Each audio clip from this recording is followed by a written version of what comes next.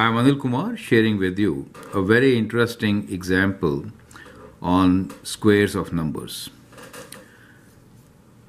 Write the number 35 as difference between two squares, sum of a prime number and a square, sum of three squares. I'd like you to pause the video, answer this question, and then look into my suggestions. Now, if you try to do it straight away, it might be slightly difficult. But now try to see it like this. Let us write down all the numbers which we know, which will give you square up to 35. So the numbers could be, let's say numbers we'll write and we'll write their squares. For example, 1. Square of 1 is 1. 2. 2 square is 4. So we write 4. 3. 3 square is 9. 4 square is 16. 5 is 25. And 6 is 36. Once you have squares of number in front of you, then it becomes very simple to answer this question. Now you can pause the video, answer and then look into my suggestions. Right? Now we need difference between two squares. That means difference between two of these numbers should give us 35. So clearly that could be between 1 and 36, correct? So the answer could be 6 square minus 1 square, right? So we get the answer here as 6 square minus 1 square. 6 square is 36 and 1 square is 1. We get 35. So this is equal to 35. Clear? Next is sum of a prime number and a square. So you have to add a prime number and a square. Now, which combination can work? Now, that is kind of tricky. So, what we can do here is look into these sum of a prime number and a square. So, what should I add to these to get 35. So we want sum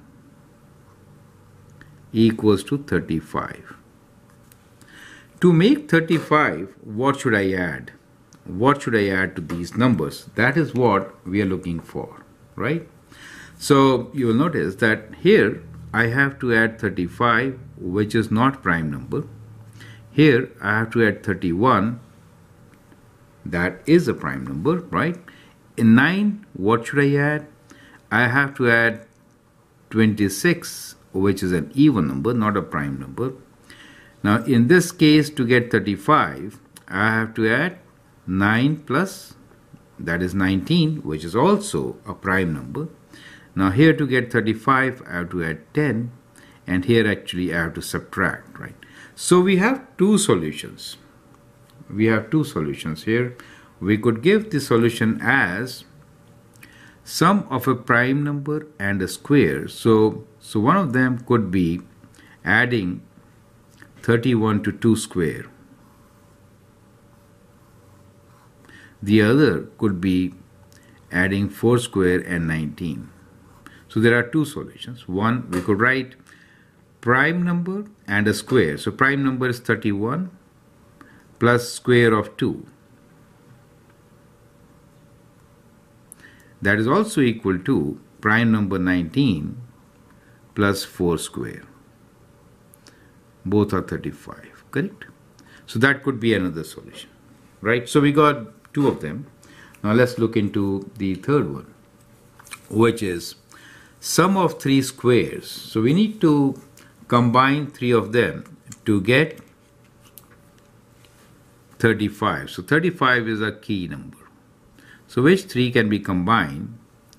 Square. So we have to combine some three of them to get 35. So look into these, which can work for you. Right? So straight away, what you could do is, you could add these three numbers. 1 plus 9 is 10 and 10 plus 25 is 35. That means we are looking into squares of 1, 3 and 5. So sum of 3 squares means 1 square plus 3 square plus 5 square. which is equal to, as you can see, 1 plus 9, which is 10, plus 25 is 35. Do you see that? So that is how you could get your answer.